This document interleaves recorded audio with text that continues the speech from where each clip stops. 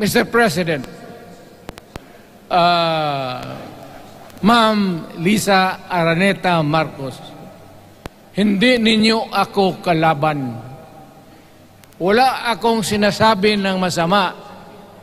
Hindi lang ako makakampanya noon. Alam mo, iniiwasan ko ito. Itong panahon na ito, ito talaga ang iniwasan ko kasi mapipilitan ako ngayon magsalita laban ng mga tao sa gobyerno. Alam mo, Mr. President, hindi ako maghingi ng tawad. Kagawan mo yan eh. It is your responsibility sa sarili mo. What you do in this world binds you. Iyo yan.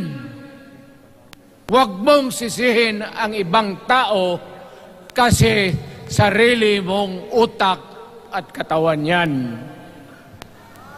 Nung ako'y mayor, pinakitaan ako ng evidence ng PDEA. Doon sa listahan, nandoon yung pangalan mo. Ayaw kong sabihin yan kasi magkaibigan tayo. Kung hindi magkaibigan, magkakilala. Eh, ikaw eh, pumapasok kayo ng alanganin. Mr. President, baka susunod ka sa dinaanan ng tatay mo. Diyan ako takot. Ayaw ko mangyari sa iyo yan.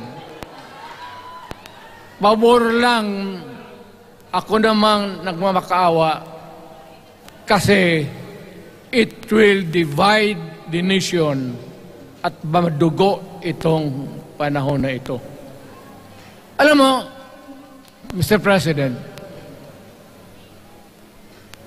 sabihin ko maya sa tao kung ano ka.